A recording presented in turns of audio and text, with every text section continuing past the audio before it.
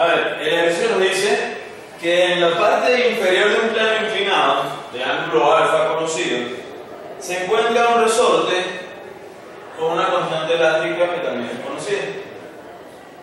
Ahora, desde este punto que le llamamos 1 aquí, a una distancia d del extremo donde está el punto de equilibrio de este resorte, este, se suelta un bloque de masa m. Este bloque se deja caer. Siendo mu sub k el coeficiente de fricción cinético en este caso, que también es conocido, y les dice aquí como utiliza que es rosa. No unos rollitos, no sé. Y es el roce que hay entre el bloque y el plano. Ahora, el bloque cuando cae comprime el resorte una distancia conocida. Vamos a suponer que si esta es la... Cuando se comprime el resorte, allí está la distancia x. Imagínense que de aquí hasta aquí se comprime el resorte cuando el bloque cae y esa es la distancia x. ¿Ok? Ya es conocida también. En otras palabras, mira, la de caer. ¿Cuánto se comprimió? Mira, x. Ese es un dato. ¿Ok? Ahora, el detalle está en que luego de que comprime el resorte, ella baja, comprime y el resorte la empuja. ¿De acuerdo? Después de que la empuja, el resorte vuelve a llegar a su punto de equilibrio, la masa vuelve a subir, ahora no a una distancia d, sino una distancia de que esta distancia es la que le acabo de colocar la distancia al retornar por primera vez. Porque si tiene suficiente energía, son varias veces hasta que se detiene, ¿cierto? Ahora, este, basado en lo que acabamos de hablar ahorita, entonces, vamos a hallar los módulos de la fuerza normal y de la fuerza de roce, en ese caso, cinética. ¿Ok?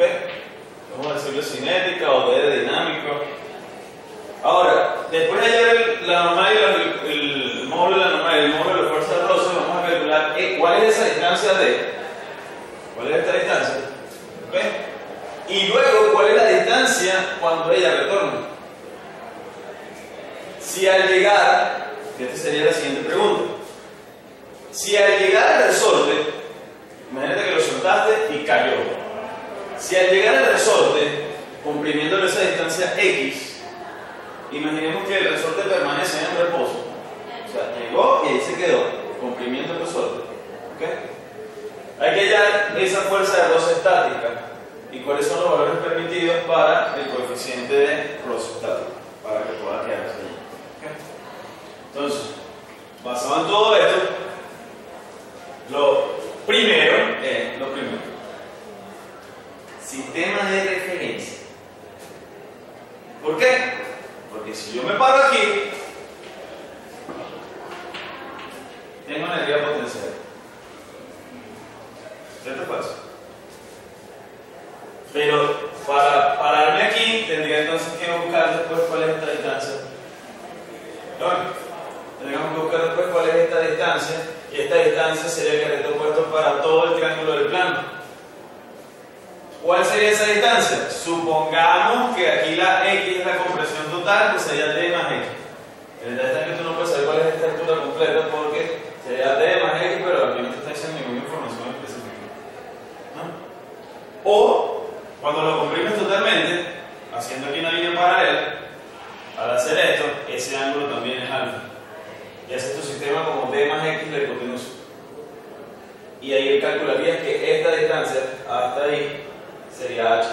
El problema es que H, el sistema de referencia estaría hecho ¿no? Entonces es cuestión de tener presente algunos detallitos allí técnicos. Entonces, como por ahí la cosa no pinta nada bien, lo más sano es agarrar un sistema de referencia sobre el plano y lo vamos a definir así. ¿Okay? Este sería nuestro J y este sería nuestro I. Si ese es nuestro sistema de referencia y nos piden los módulos de las fuerzas de la normal y el roce, vamos a hacer el diagrama del cuerpo libre entonces de esa, de esa masa M. Sería el diagrama del cuerpo libre de la masa M. Va a ser en este caso, tenemos la masita, tiene una, eh, allá arriba, ¿no? Ojo. Si lo, si lo tomo en ese punto, tiene una normal y un peso.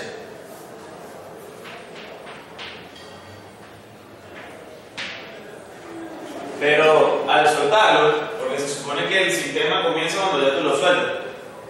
O sea, el T0, el T igual 0, no hablamos de tiempos negativos, el T igual 0 en nuestro sistema es cuando lo soltamos. Al soltarlo, ella agarra movimiento. Al agarrar movimiento hay un roce. Si se mueve hacia allá, el roce iría oponiéndose al movimiento que va hacia allá. Si el sistema de referencia de nosotros es este, bueno, no lo hace aquí mismo porque no, no molesta. Si el sistema de referencia nosotros es este, puse el positivo hacia la izquierda, donde hacia allá está la normal, hacia allá está el peso y hacia allá está el roce, tenemos entonces la posibilidad de sacar la cuenta de la sumatoria de todas las fuerzas. ¿Dónde está el ángulo alfa? ¿Aquí o aquí?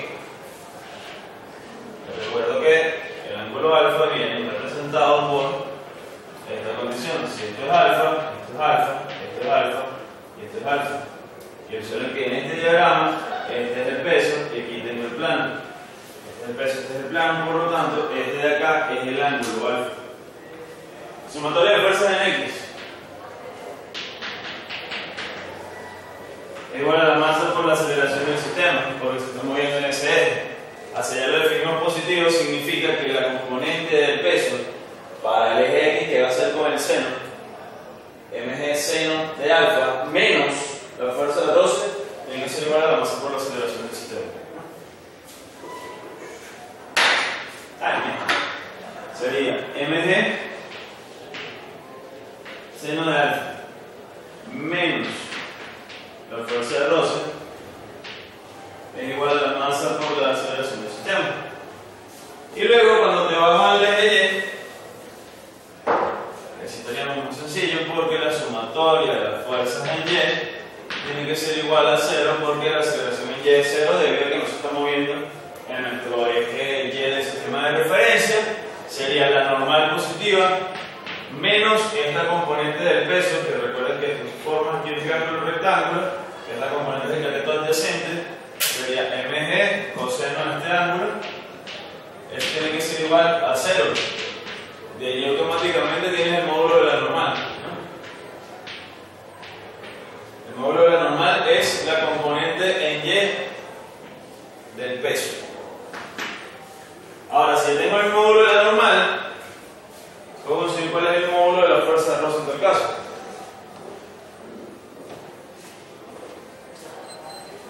¿Se puede hacer?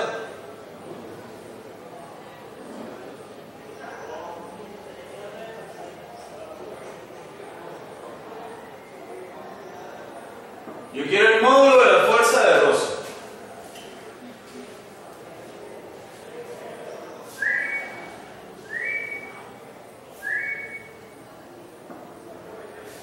Si me quedo aquí pegado, yo no tengo manera hasta ahorita de conseguir cuál es la aceleración. Pero eso se está moviendo. ¿Sí o no? Que yo sepa, la fuerza de roce, el módulo de la fuerza de roce, se define como el módulo de la normal por el coeficiente de fricción cinético cuando eso se está moviendo. Si la normal la conozco, multiplico por el mu sub k y ya tengo el módulo de la fuerza de roce. Al sustituir eso aquí, ¿quieren aceleración? Ahora sí lo puedes conseguir. ¿De acuerdo? Porque recuerden que estamos escribiendo en función de los datos conocidos. La masa, la gravedad, el ángulo alfa y el sub k son datos. Implica entonces que el módulo de la fuerza de roce es igual a mg coseno de alfa, todo esto multiplicando por el k. Y para mantener, digamos, una estética similar a algunos textos, sería sub k mg coseno de alfa. Aquí tenemos el módulo. ¿Queremos el vector fuerza de roce de casualidad? ¿O el vector normal? Bueno, aquí tú agarras para tu